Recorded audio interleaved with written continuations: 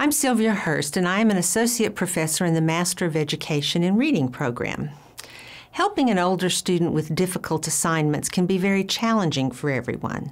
Students who have a big assignment to read or complete can be overwhelmed and frustrated. They may want to avoid reading or completely give up. Fortunately, there are several things you can do that may be helpful. First, make certain your student knows everyone has times they are challenged and must work hard. Every professional, such as doctors, teachers, politicians, athletes, have had to push through some difficult things to learn, even though it looks like it is easy for them now. Begin by taking a book or lesson tour of the reading or assignment. Where's the table of contents, the glossary? What visual charts or graphs are there to help you understand? Are there any notes? Getting a preview or overview can help them understand what they are expected to learn.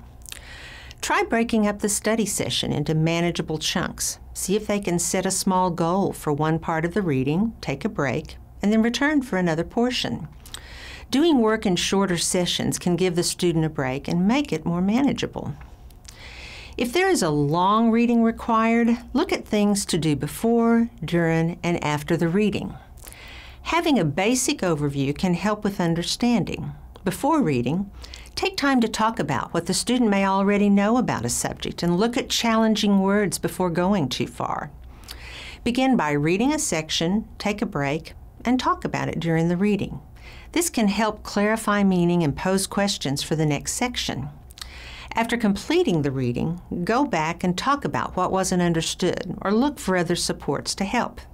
Taking time to write about what was read or marking trouble areas with sticky notes are good strategies for comprehension at any point in the reading process.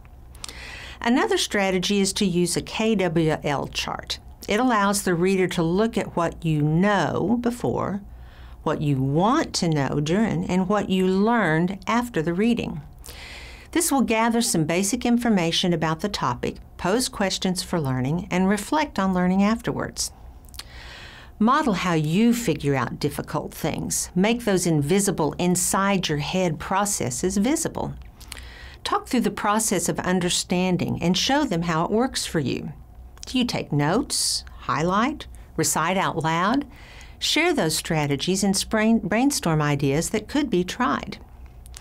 Don't hesitate to use extra resources to figure out challenging content. There are often simpler versions of books available that can explain complex ideas in an easy to understand format. A local librarian is a great resource for finding other information.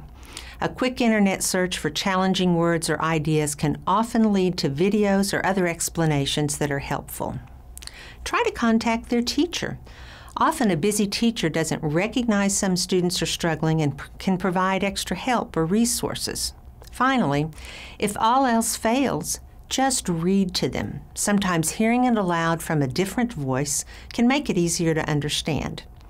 These are just a few ideas to encourage and promote successful literacy in school assignments and activities.